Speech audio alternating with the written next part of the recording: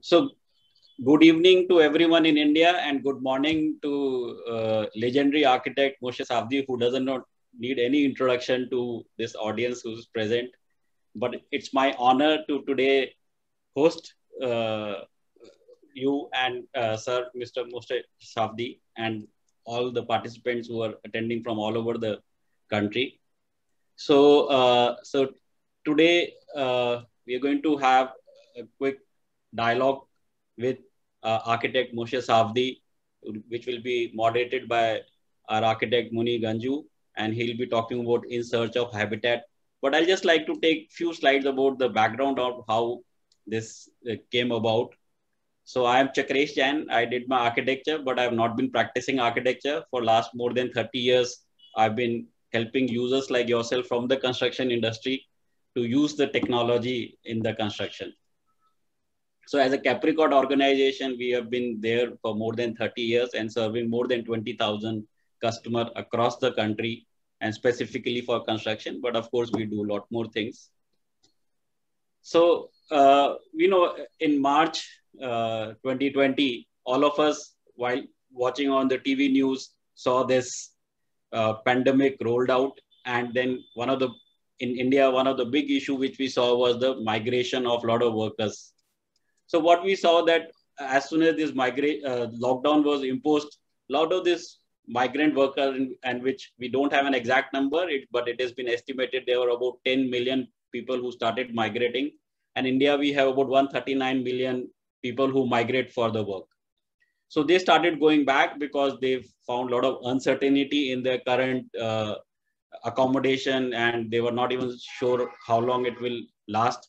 So one thing which happened because of this was suddenly people whom like a lot of people have been talking them about them also as an invisible team which is there in the country their visibility came right in front and it became everyone's top of the mind discussion that we have such a huge uh, people who have been working for us, but they don't have a permanent accommodation. And so, uh, and a lot of issues got highlighted. And we from our side, from technology side, that okay, what can, how can we help the situation? And that's where we started thinking about that. What can we do as Capricot? What can we do? And we then came up with this thought that these we refer to them as nowhere people because they have been traveling and we want now these are the people we need to really uh, uh, bring some solutions so from nowhere we wanted to make them as now here people. And we wanted to create a livable space for them which is permanent which is respectable and which is sustainable but most important which is also affordable for them. And that's where we started thinking about like how can technology help for the solution from that? And we came up with this competition especially for the students by the name design advance. And uh, so this competition is still going on. And as a part of the competition we thought that when we're going to have so many students come and participate in this competition then obviously we also want to bring some of the thought leader and first we were of course only thinking locally but then with the with some of the like-minded people like Mr. Ashok Dhawan helped us to even think globally and he connected us to legendary architect Moshe Safdie and we requested him and it was very gracious of him to accept uh, invitation and, and share his thoughts and share whatever he like to share today with our Indian architects. So this competition is still on. So we are having two part series in this. One is thoughts from this uh, global thought leaders and of course, we are also doing technical workshop on how to do various things in the various software is what we are running on. And the website for this is designaddvance.in. So anyone student would like to get more detail, please feel free to go there. So I, I know I don't have, Moshe Safdie does not need an introduction, introduction to the audience. They have been already uh, hearing a lot about it. So, uh, but uh, he's an architect, urban planner, educator, theorist, author, and over his celebrated 50 years of career, Safdie has explored the es essential principles of socially responsible design through a comprehensive and a human design philosophy. His projects include cultural, educational, and civic institution, neighborhoods, public park, housing, mixed urban, urban center, and airports, and master plans throughout North, South America, uh, Middle East, and Asia. So, uh, and for moderating this session, we have another luminary from India uh, who likes himself to be called as Muni Ganju, although his full name is much longer than that. And he qualified from Architect Association School. And since 1967, he has been doing a lot of research and teaching. And he's, uh, apart from a lot of other things, I'll, I'll probably leave it to them for more during their talk, but he's presently building uh, with Tibetan refugee community in Dharamshala to research the practice of sustainable architecture in Himalayas. He's the one who also founded the TVB School of Habitat uh, in New Delhi. So with that, and without taking much time, I like to hand over to our friend Muni Ganju to take the discussion forward from here. Thank you, everyone.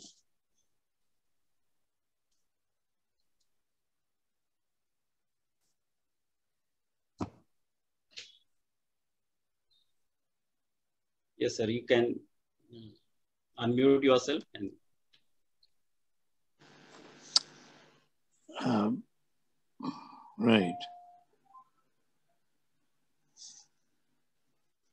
Chakresh, you want me to take over now? Is that right? Yes, sir. Okay. Well, uh, I'm sorry, I you know there's some signal issue. I missed the last bit of your introduction. But anyway, uh, I think that really everyone's waiting for Moshe to give his talk, and um, I don't think that there should be any delay in that. So may I request Moshe to please begin his lecture, his talk, presentation, and we will of course ask the participants who have questions to uh, post them in the chat or question and answer boxes so that by the time uh, we come to the end of the presentation, uh, we are in a good position to uh, direct your queries to Moshe for his replies. So with just that, I would request Moshe to please uh, begin his uh, presentation. Thank you, Muni, and greetings uh, to all of you in India from Boston. Under normal circumstances, I would have preferred uh, to be there in person in some great uh, lecture hall and see your faces and have personal interaction. Uh, but so it is in the days of COVID. I think one thing we've learned uh, is that there is no substitute for face-to-face. We've all been Zooming and doing all kinds of conference calls, but face-to-face is, of course, fundamental, I feel. It's been a difficult year for the world. And as I read and I see, it's been particularly difficult for India. I think the pandemic has exposed many faults and cracks and dis discrepancies in our society. It's exposed the disparities in wealth and opportunity within countries and between countries. It has exposed the incompetence of government. The more incompetent, the more severe the pandemic in that, those particular countries. Uh, it has exposed environmental shortcomings Maybe we knew them before, but we live with them now and we are more aware of them. And of course, the, the failure of our infrastructure system under these pressures. And oddly enough, for us as an architecture practice, it's been a year of affirmation because for decades, I've been preaching that we need to connect architecture with nature, that we need to create outdoor and indoor spaces within the environment, that daylight uh, was significant and important, that there's a limit to our resources, that we need to be prudent about it. And here comes this uh, event, mega event, and actually gives us some, I'd call it uh, uh, backwind in our sails in terms of some principles that we have been pursuing.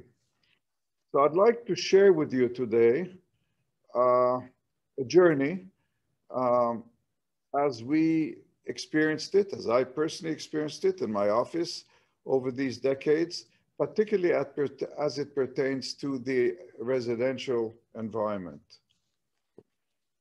Am I?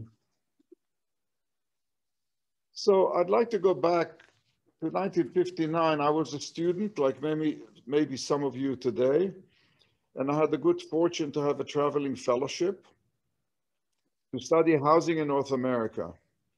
And I traveled the continent with five other students, and we saw all these high-rise public housing projects of uh, circa 1960s. And the rest of the country was covered with this spread of suburban sprawl towns. It was clear then that those who were less privileged uh, were being housed in high-rise buildings in cities and hated it. And those who had more privilege would move to the suburbs in order to have their own little house with its own little garden. And I came back and for my thesis at McGill, I decided to do a housing system. The, the slogan was for everyone a garden. Prefabricated modules would be placed in a frame. Uh, each unit would have outdoor spaces um, it would be able to reach high densities and yet at the same time, it would have the quality of life that you would associate with owning a house, streets in the air rather than corridors, etc. And then I had the good fortune to be in the right place when the World's Fair came to Montreal and was able to offer an evolution of that concept for the World's Fair. And I'm showing you here first the original proposal, not the one that was built, the original habitat in which a fabric of housing, membranes of housing leaning on each other, sheltered within them a whole community with schools and offices and workspaces, etc. So that in fact, it was the beginning of trying to suggest a mixed use balanced com community, which you see here and the notions of prefabrications, etc., uh, were continuing to evolve as we realize that because we are limited to fireproof materials, the modules are heavy enough that we must make them load bearing. We cannot just place them in a frame. And that gives you a sense, a sketch I made in 1963 of the kind of new three-dimensional city with streets in the air and vertical cores serving various levels of the community and being able to pull the ground plane up into the air. And that's a little nostalgic picture that they pulled out of the archive the other day, showing us in 1963 working in the office uh, on the models for habitat.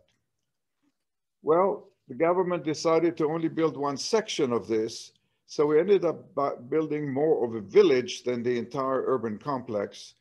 But the ideas of prefabrication prevailed, and the idea that for everyone there will be a garden, and for the community there will be garden spaces in every level was part of it. This is the building today, 60 years later. It is a heritage building uh, for Canada, and it is, as a community, living successfully, cohesively, and I might I say happily.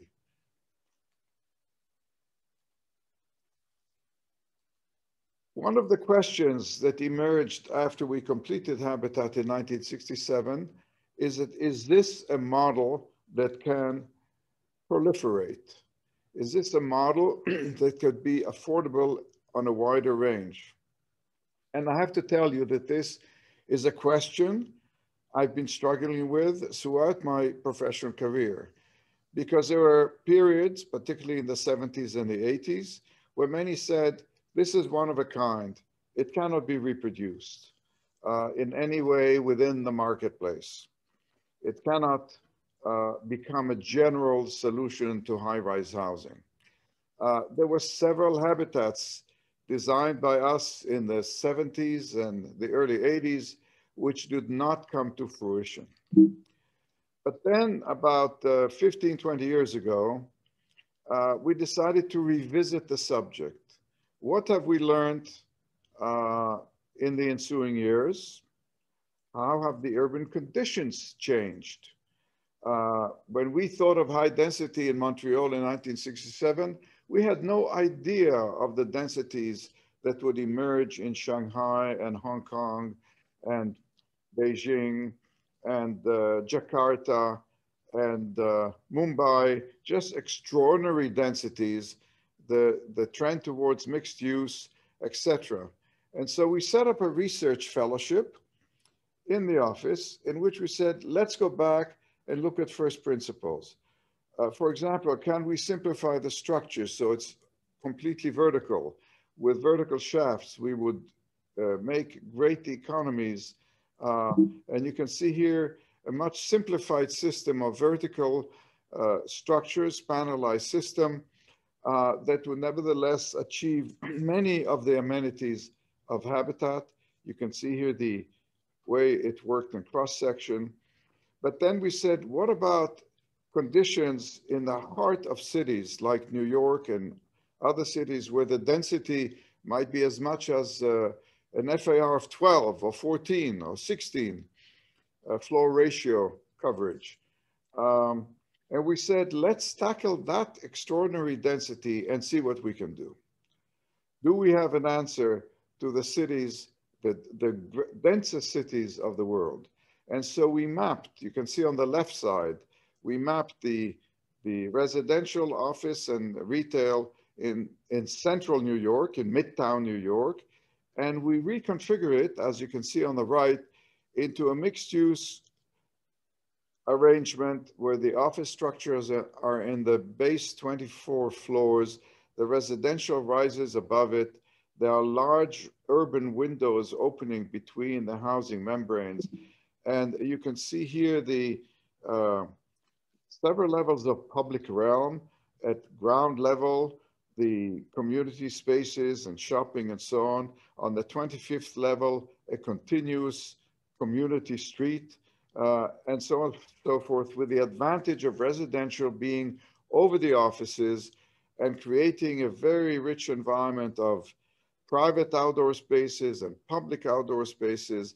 And most important, a permeable structure that doesn't create walls within the city, but that you continuously see through it, whether you're on the river or the park, it's always permeable. And these are the principles. Fractalize the structure to create outdoor spaces, uh, open it up to make it permeable, uh, and try and simplify construction by stacking things conveniently. Well, from research to reality, in the next few years, as that is in the recent years, we have come to realize several projects in Asia particularly, uh, but not only, uh, with those ideas applied to the real world. This is a middle income housing project in Qinhuangdao, China, on the coast near Beijing. It is uh, now complete, the first phase is completed, which you see here. We're currently building another second phase of equal scale. Um, it is, I'm proud to say, middle income housing, not super luxury housing, and it enjoys private and public spaces, generous uh, park spaces, and it has not blocked the city from the sea views behind it because of these large permeable openings. And you see here the kind of individual deck level uh, of the outdoor spaces of the houses. And in Singapore, on a very restricted site, we have a complex, uh, they call it Sky Habitat, 600 residential units, we bridged between the two towers at three levels. The bridges are completely devoted to community space, both playgrounds, swimming pools, community rooms. Uh, some of the units enjoy terraces open to the sky. Others have balconies. Uh, this now has been up for about seven years and it is inhabited with families, with lots of children, and it's a pleasure to see how they've taken to the building and, and taken full advantage of all the communal and private outdoor spaces uh, which have been provided. And this again is middle income housing. It's not in the luxury district of Singapore. It's at the perimeter uh, middle income housing. This is one of the bridges with the playgrounds. And you can see uh, how these strategically located spaces become also collecting points for the community, encouraging uh, interaction and community life.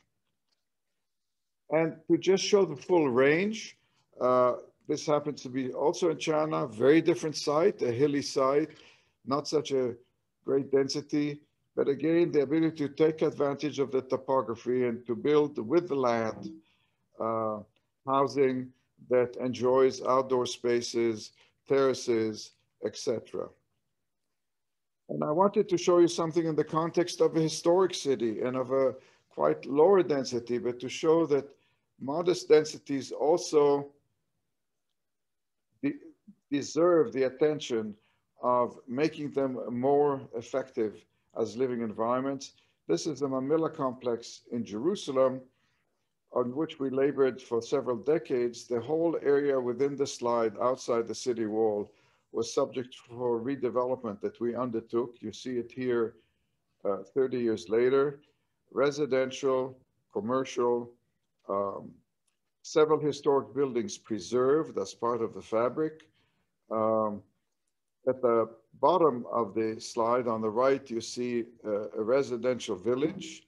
And I want to show you that because it's, it's a very basic, simple system of cluster housing, which uh, contain a street. Under the street, there's a deck where cars can be parked. The deck itself is a pedestrian place for families and children to enjoy and to play. There is that sense of shade and enclosure that's appropriate to the climate and history of Jerusalem. And it has also proven to be a very uh, uh, effective and lively community. And in conclusion, I thought I'd show you because you are going to now be thinking about a competition for something which is to do with basic subsistence, with minimal means, with how to make the most with the least. And so I wanted to show you two projects that we've been involved with. The first uh, happened many years ago in Canada in the Arctic. It is uh, the area where the Inuit people have lived for centuries. They were nomads until recently. And then they were, they settled and they settled in what's called matchboxes. Now, the, the circumstances are severe. Hence, I think the analogy appropriate to your competition. This is tundra, meaning you cannot build foundations because the land does not, the land is thawing and freezing. You're above the tree line, nothing grows. And the Inuits had lived in tents and igloos for centuries. And here they were westernized into these matchboxes.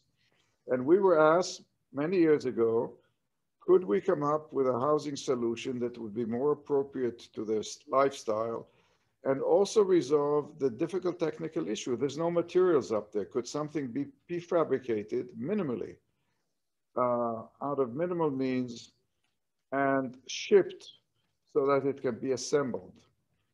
I just want to give you a sense of the place. This happens to be myself with my parka to give you the sense of desolateness and cold. And there is that landscape in which they have lived. And so uh, I hope you can make uh, a little sense of this photograph. There's a series of igloo-like houses. Uh, they are octagons with a living space at the center and different rooms and bedrooms surrounding them, clustered together, tied to each other within the topography. You can see that here. Uh, they float over the tundra with uh, pile foundations, actually quite free from uh, the ground. And they are, you can see here the plans, made up of systematized series of panels, which you see here, the entire kit for one house. So these are all made of stress plywood, plentiful in Canada. Uh, stress plywood panels, prefabricated, all these can be stacked very compactly and produce this house, which is clad on the outside with a fiberglass gel coat sheet uh, with insulation behind it and a glowing acrylic dome in the center space, which at night in the long, long seasons of the winter would sort of give the house a marker in the landscape as you have perpetual darkness for about three, four months. The other project we're working on currently, and again, it has to do with reaching for the uh, lowest cost strata of housing. And the origin of this project is in a museum that we have been working on. We completed 10 years ago, Crystal Bridges in Arkansas in the United States. And it is a museum of American art where we created a series of ponds down the stream by damming the watercourse. One of the breakthroughs in this design was to build the entire project out of local lumber, Arkansas yellow pine. It's plentiful, it's to totally sustainable, and we found many ways to te technologically innovate and use that material. And that led us to the idea of why not use this timber, which is plentiful and economical, in a new technological way. These are called CLT panels. They are reconstructed layers of wood that give it extraordinary strength while using the small, uh, very cheap pieces of wood the smaller, of course, the cheaper they become. And with those panels, we are developing a residential community. The units are modest and small. They range from 50 meters to 150 square meters for a larger family. They're modest, but you see them here. They are 12 feet or four meters wide so that they can be trucked from a central plant Unlike the ones in Habitat many, many years ago, these are narrow enough to make it on the highway. Uh, they cluster around the land. You see here the simplicity and cleanliness of the production line components, including the various bathroom and, and kitchen cores being sub prefabrications within the system, all in wood, very, very uh, minimalist in terms of materials. And you can see here a range of typologies. We can go up to eight floors with wood in the United States in terms of the building codes. And you see here the range of densities from four and five story clusters linearly arranged on a site, as you saw in David's Village a minute ago, to eight story clusters and all the stacking done in a way to minimize structural stress and to achieve the greatest economy, which you see here in a kind of a fast rendition of the kind of environment that we're achieving. And you will be surprised that densities are quite high, even though this is mid-rise. So I'd like to, first of all, uh, encourage you with your competition. Um, I think that it is always taking you back to first principles when you think how to achieve something with a minimal means. Uh, I'd also hope that this period that we've gone through does not go to waste. What do I mean by that? I mean that you can go through crises and then learn from them and forget. And I personally lived one such experience uh, in 1973. We had the Gulf War. There was an oil crisis. Uh, all of a sudden, the United States, which always depends on oil and it's reliable and plentiful, people were standing in line to get gas for their cars and they panicked.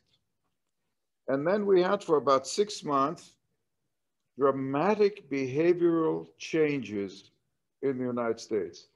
People who lived 30, 40 miles away or kilometers away from their work got new, new residents to be closer to work. People who had big gas guzzling, uh, petrol guzzling cars got compact cars that were more economical. It seemed all of a sudden that this gasoline crisis would bring a reform in the way we use transportation and the way we planned distance to our employment. And it lasted six months. And gas got cheap again, and everybody forgot about it. And now we have everybody driving these enormous SUVs, and the lessons have been forgotten. Well, I hope that the COVID lessons will not be forgotten, that it's I had a friend who lives in a luxury building in New York, luxury high-rise apartment building. Has a doorman and all the trappings of luxury. Uh, and she called me and she said, in the middle of the pandemic, there should be a law. You cannot, you shouldn't be able to build apartments without opening their windows. And you should not be able to have an apartment without an outdoor space where you can go and breathe air. And you cannot have an apartment complex that does not have some outdoor space for its residents. Uh, these are the lessons I hope we carry forward, and I wish you much luck in your endeavors.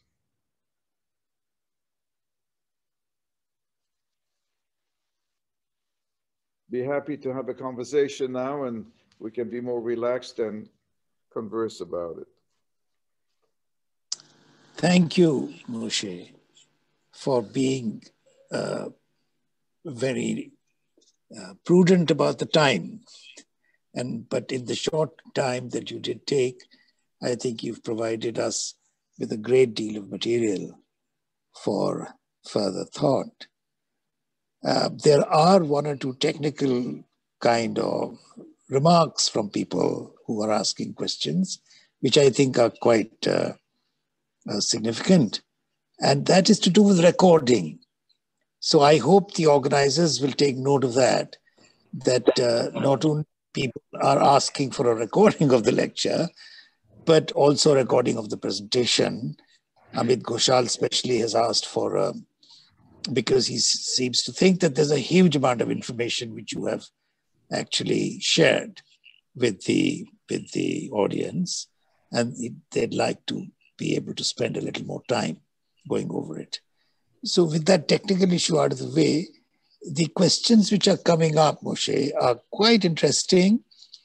Uh, there are questions which deal with the engineering issues, and there are questions which deal with, shall I say, the cultural issues, um, and some which actually go, go to um, uh, detail about uh, the, you might even say, the deeper cultural issues. Um, but shall I uh, start with the um, easy ones, which are the engineering issues, I would say. Um, um, you see, these are to do with how do you make big openings in these kinds of structures? Uh, how do you take care of the construction labor when you have so much, uh, when these huge construction projects are coming up. These are the kinds of questions which are coming up from uh, somebody who's working in the Metro Corporation in Delhi. Delhi, I think it is. Um, but I think the, and what is the role of artificial intelligence and management, as well as algorithm led design so that uh, many the pains of production are relieved. And uh, but there's a there's a rider to that question. Are there any particular design or ethical or moral or humane? You're, you're frozen on me.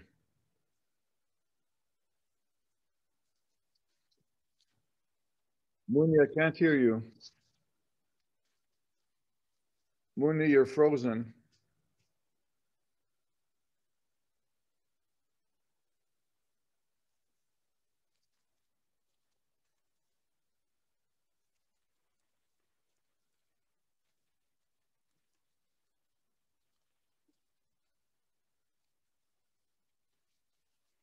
Uh, can the others hear me? Yes, uh, we can hear you. Yeah, So, I uh, think Uh, there- my signal. Uh, what, I, what I was saying was that from, from the technical issues, uh, this question has raised uh, ethical and moral issues. So it covers really the whole range, I think, of what the questions are aimed at. So Uh, I'll stop. Yeah, the questions are very broad, but I'll try and break them down into different components. Right. Um, let- Let's begin with a question of um, resources. And I have a term that I've used over the years, which I think is fundamental to my philosophy as an architect, which is you're always striving for uh, something inherently buildable. Inherently buildable. What I mean is we can design every shape and every form that we can imagine.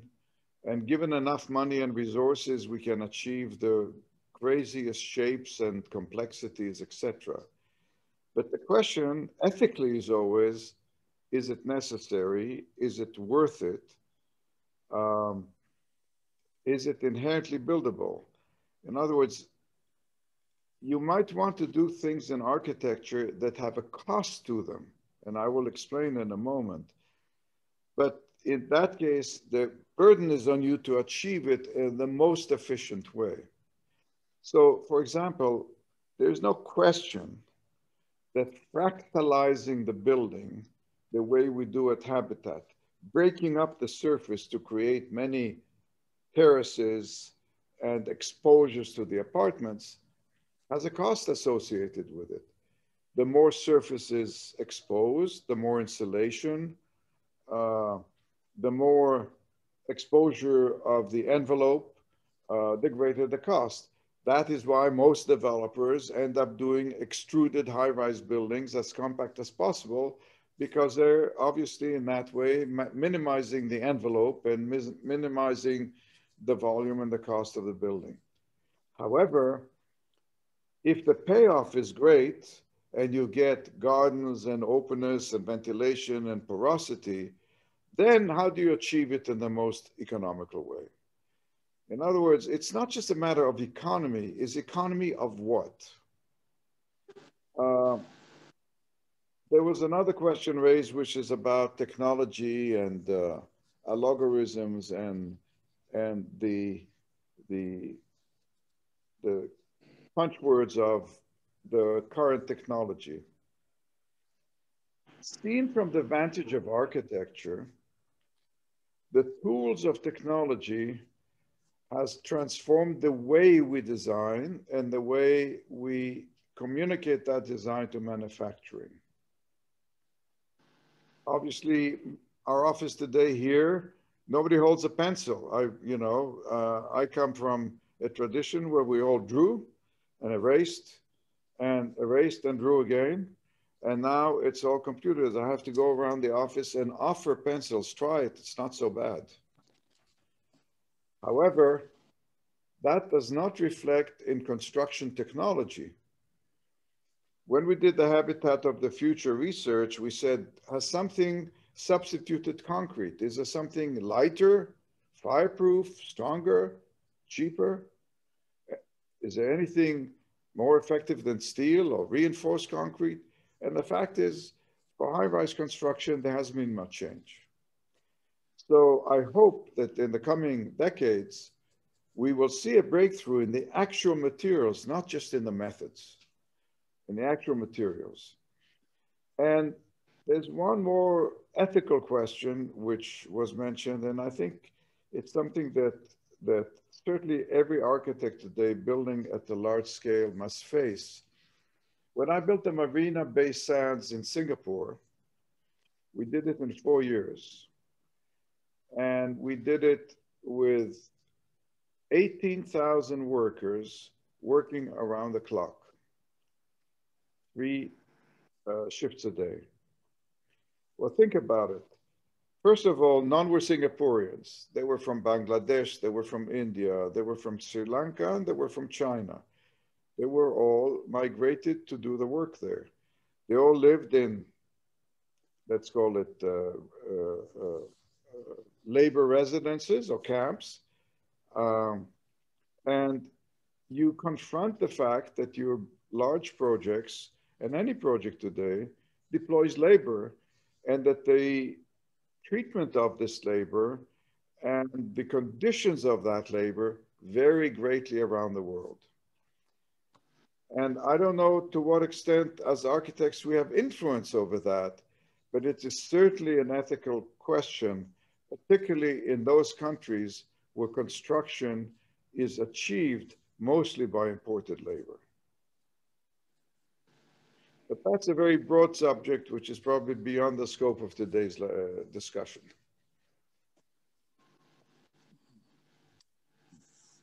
Thank you, Moshe, for uh, taking on the sort of broadside. I may tell you that uh, in the last few minutes, there's been a huge number of questions which have come up. And uh, while I'm struggling to put them, to cluster them together, but I think one or two important ones which strike me is the, for instance, the issue of maintenance has been raised by somebody. What is the, how can architecture help in terms of the maintenance issues that are bound to arise in habitat, in housing? So that's one question which I think uh, requires, uh, well, it's a challenge, isn't it? Well, it's a it's a question that's appropriate coming from India.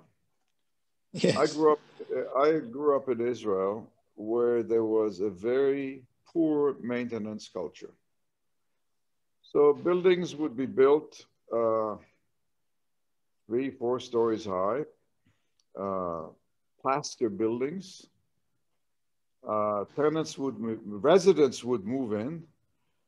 Uh, these were at the beginning uh, rented accommodations, and there was this business of uh, rent controls. Nobody wanted to spend any money on their buildings, maintaining them. And, you know, within a decade or two, the whole place looked slummy because plaster needs maintenance and landscape needs maintenance. So I give you a completely opposite example of a country I've done a lot of work in is Singapore. Singapore is not as wealthy as the United States and many other industrialized countries. Maintenance in Singapore of anything you can think of is perfect. You, I'll start from the most mundane. Every bathroom is clean the landscaping of the public realm is extraordinarily ambitious and superly well maintained. Every person who owns a building must keep it intact, well maintained, painted. And if they don't, the government comes and does it for them and charges them. The result is that you have a whole city state which is in a in a extraordinary state of maintenance and that is true for all kinds of buildings, including those that are difficult to maintain because they were built with materials that are less, um, uh, less hardy. So I, be, I really believe that, that maintenance is essentially a question of culture. If you come to a little village, modest, people are poor, but you see a lot of garbage, you know that it's just a matter of their own labor that could remove the garbage. It's more of a cultural state of mind. And so I think maintenance has much to do with education and policy. And it is a very important subject as we have learned by able to, for example, compare a place like Singapore with Malaysia next door on that subject.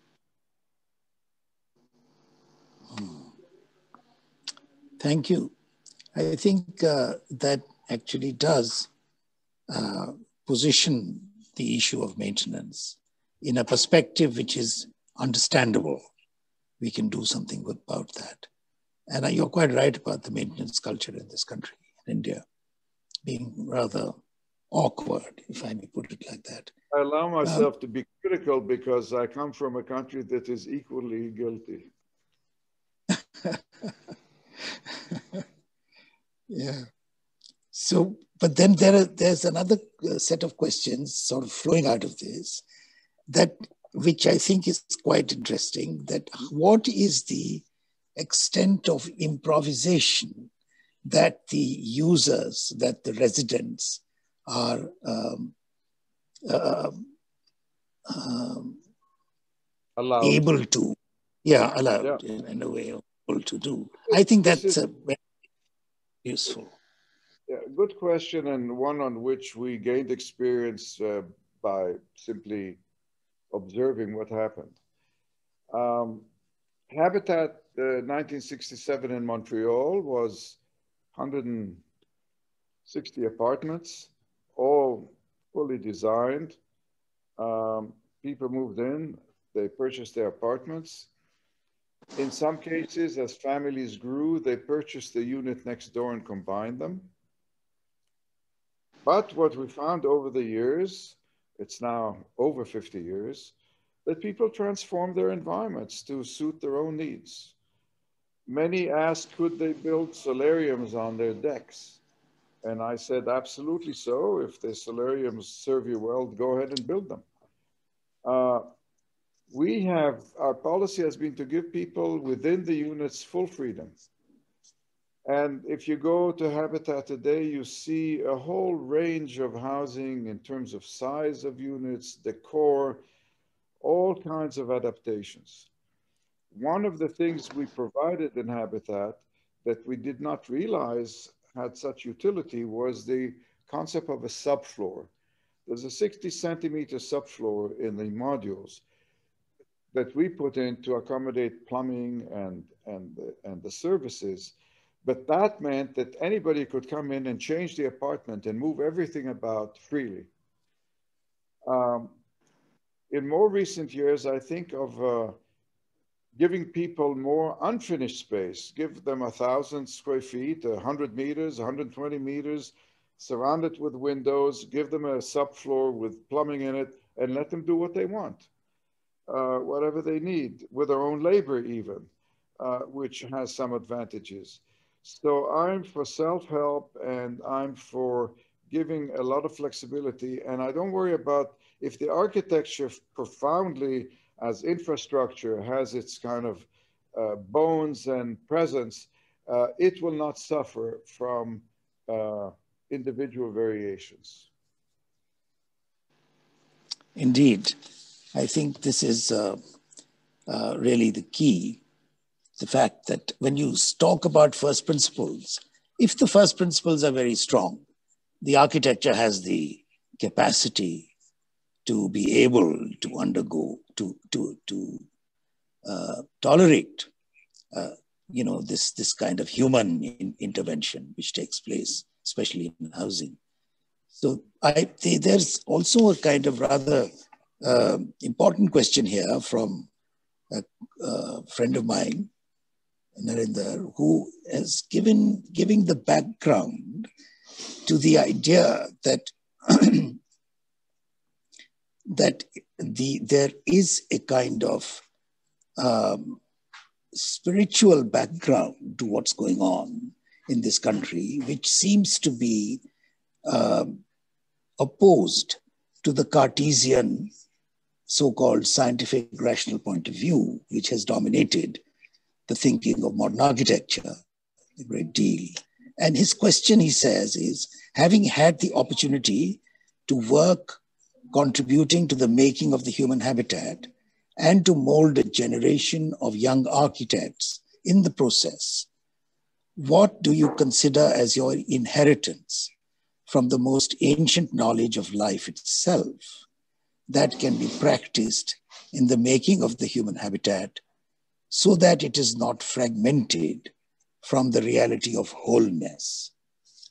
Now, this is one which I can repeat part of the question, but uh, the last part it is, is uh, you could repeat the frag The last sentence.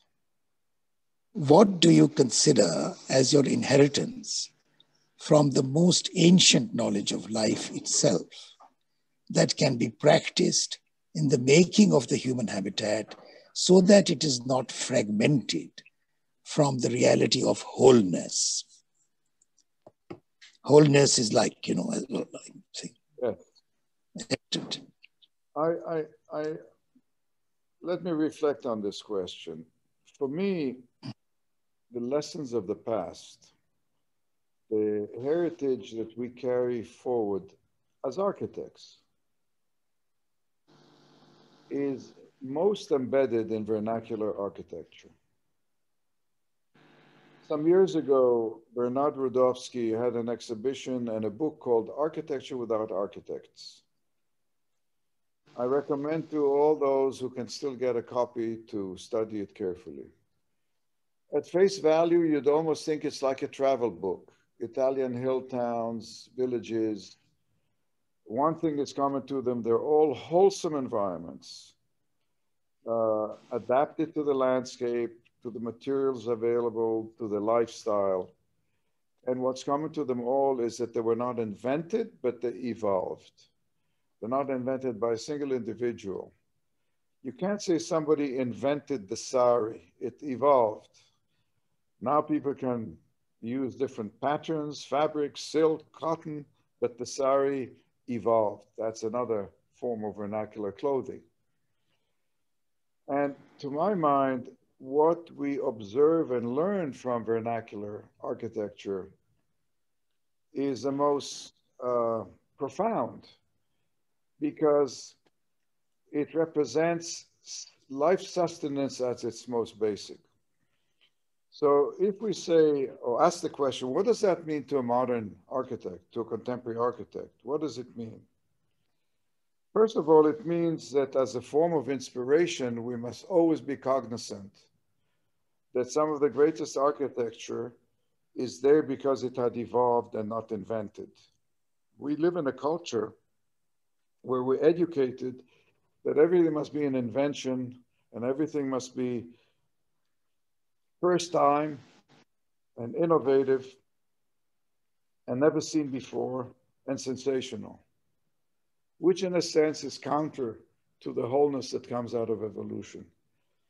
Which leads me to another observation, which is we can insp be inspired by buildings that our colleagues do and present and past, we can go to a cathedral and we do go to cathedrals and to great libraries and uh, and structures and which inspire us. Um, and as we do that, we should, uh, as we pursue design, I think one object to be in mind is timelessness a quality of design that sustains itself, that's not a sensation of the moment, is what we should be aspiring for. So for me, the greatest inspiration is to study design in nature. How nature designs in an evolutionary way, in the Darwinian way, in the morphological way, harbors in it some of the greatest lessons as an architect how to pursue a building design. Hmm. Thank you, Moshe. Um, if I can move on to um, some of the, uh, shall I say, more direct questions, there is some, there is a set of questions around the fact that in the countries which are like India, Pakistan, where you know, there's so much low income population. And the, the challenge between the, the transfer between rural and urban is really quite a huge issue. How does one preserve, and you talked about vernacular architecture, how does one actually preserve the vernacular in terms of which I suppose is what the villages people are used to in the design of the urban habitat? That the migrants are going to have to encounter. this is a set of there's a set of questions around this which I've this tried to. A, this is a very very deep question because it has to do with a fundamental body politic and political policy and and economical structure of a country. What India is experiencing, what China is experiencing, is that extraordinary shift from agriculture to urban, from agriculture and rural life to urban life and urban jobs. Now, that is a shift that's almost beyond our control. But the physical shift is not beyond our control. And I'll give a little example uh, of an Israeli experience, which began about 100 years ago with the advent of the kibbutz, collective farms. In the collective farms, to begin with, 100, 200, 300, maybe 1,000 people came together to create a farm which, in which they own and work the land together.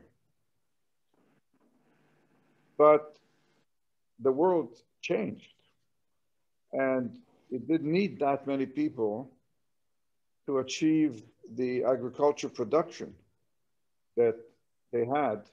It was clear that with new technology, less people are involved in the making of food and milk and so on. And so they made a shift, which is they started creating industries and had the agriculture and had the factories. And I think that one of the mysteries is why, as we industrialize rather than urbanize, as we shift labor from agriculture to industry and services, we don't get hundreds and hundreds of towns, not Mumbai 20 million, but towns of 100 and 200,000 people, which combine agriculture and industry in a kind of a way that would avoid this extraordinary influx on, you know, half a dozen cities. In Mexico, it's, it's the entire country into three cities. In, in Indonesia, the, these are just extraordinary concentrations, which in fact could be satisfied in a much more dispersed pattern. I think one of the keys to that is effective transportation. The bullet trains of China uh, show you that you can actually be within an hour from one smaller rural city into the bigger cities, which makes a big difference. But also, the, us, the, this would take a real economic intervention by government to say we want to salvage the countryside by helping it urbanize and industrialize without having to be part of the migration. It means bringing medical services, education, all the things people are moving into the city for, into the countryside.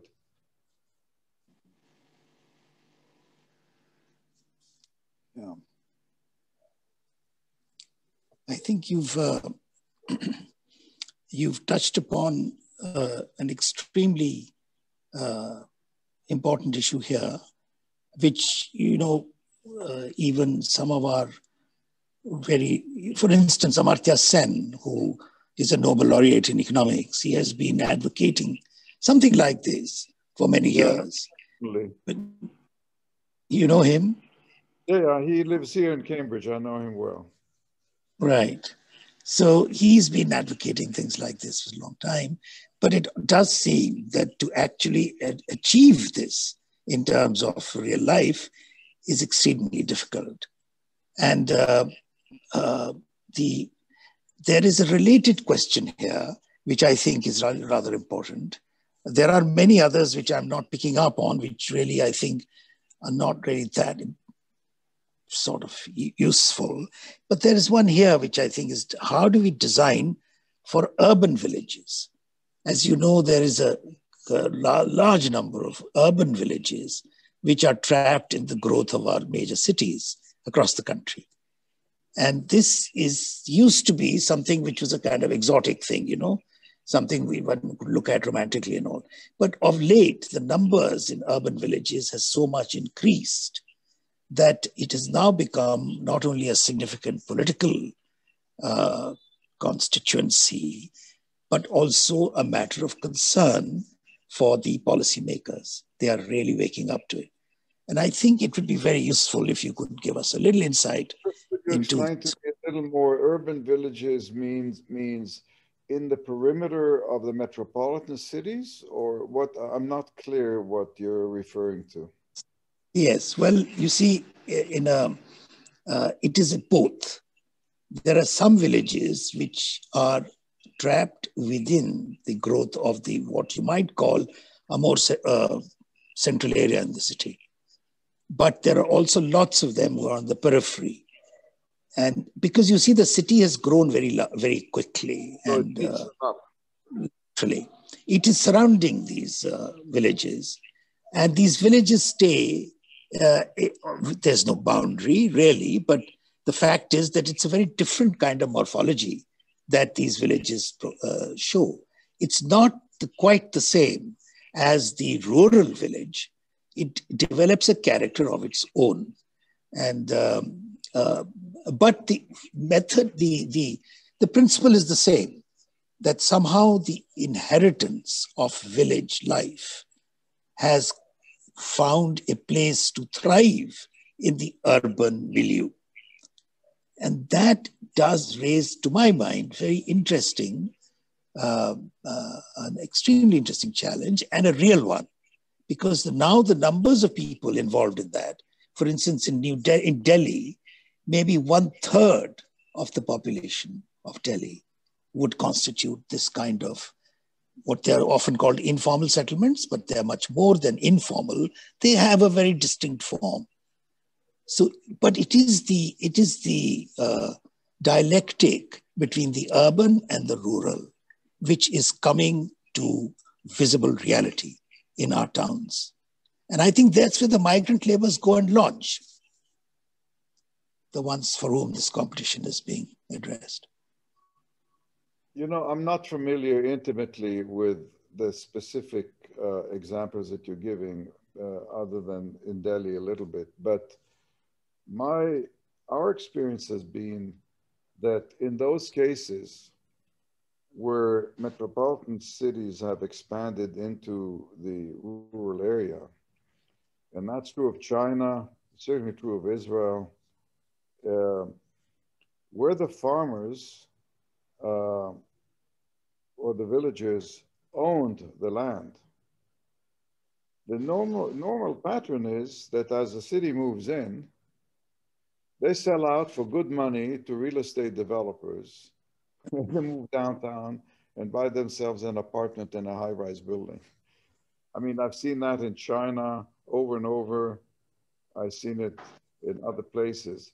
So that actually the expansion of urban areas into the surrounding agriculture areas has generally been transformed by the marketplace rather than by, you know, the just the opportunities to make money for them is is too extraordinary to to give up. And so they give up their lifestyle and their environment. I think of more urgency because th there's a natural kind of organic uh, growth pattern that occurs there. The a more urgent issue to me is small towns and villages not in the sphere of influence of the megacities. And how do we get investment in them for industry, for jobs, for service, and bring services to make them attractive enough to stay in because they are outside the sphere of influence. And so if that doesn't happen, that's when people move to the metropolitan cities.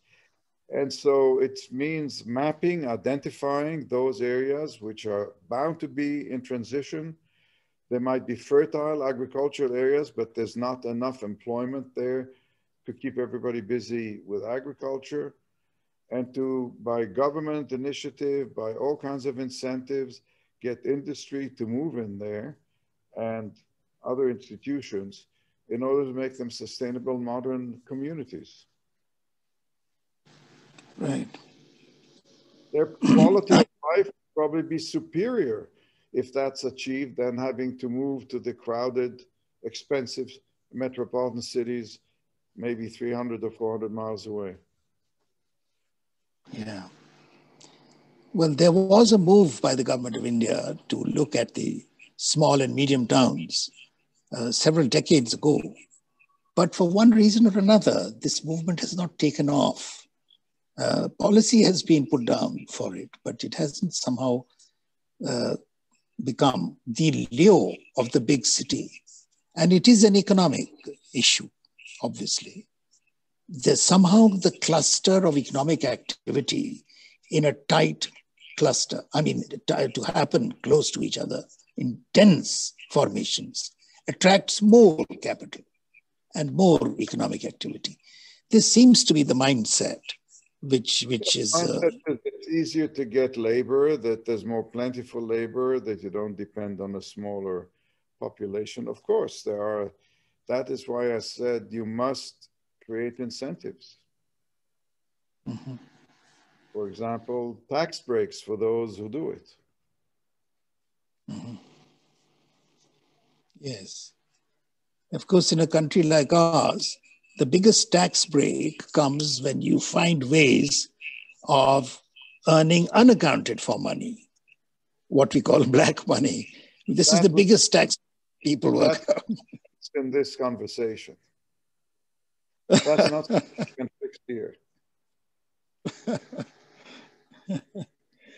but I, you, i mean, I must say that you've covered a huge amount of ground, really, when looking at this problem of migrant uh, labor and their habitat, which the students are competing to get a prize in.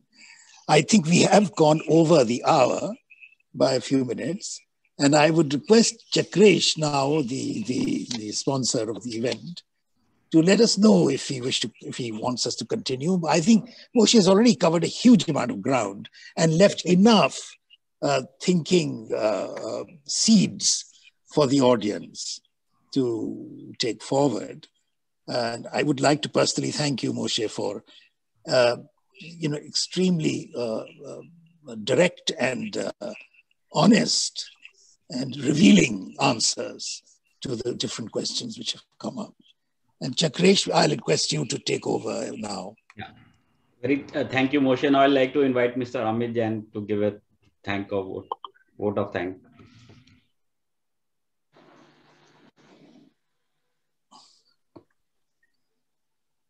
Moshe Safdie sir, Dhawan sir, Ganju sir.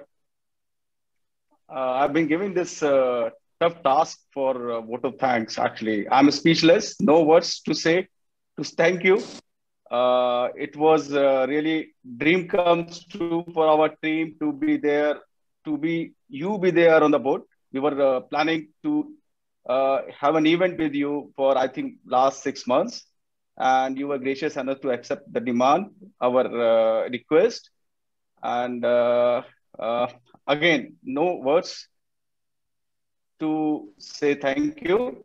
Uh, in uh, true Indian style, I would say thank you very much, sir. It's really our honor. All the best. And I think we have uh, almost 400, uh, in fact, 500 plus participants from Indian uh, architectural community. I think they might have uh, gained a lot to see you live. Uh, I heard I'm not an, a student of architecture, but still I, I, you know, I've spent last 30 years uh, working with architects. So I heard, uh, you know, uh, uh, like architects of our, my generation and even current students of architecture, they dream of following you or maybe, you know, want to see you, want to, you know, listen to you and I think that was a great opportunity uh, for uh, those who are there today uh, to listen to you. Uh, really, you know, no words further to say. Thank you very much, sir. Uh, it was really our honor to be there with you today. Thank you. Bye-bye. Thank you, sir. Thank, thank you. Thank you, Dhawan sir. Thank, thank you, uh, Ganju sir. Thank you, sir. Thank you. Thank, thank you, everyone. Thanks, Moshe. And thank all the participants. We hope you enjoyed. We will be sharing the link to the video of this uh, uh, webinar today to everyone. Uh, so it's been recorded, no? Yes, sir. we have recorded and we'll share the link. Yeah. All the registered people, in fact, uh, I'm sure a lot of people wanted to attend but couldn't attend because of whatever reason.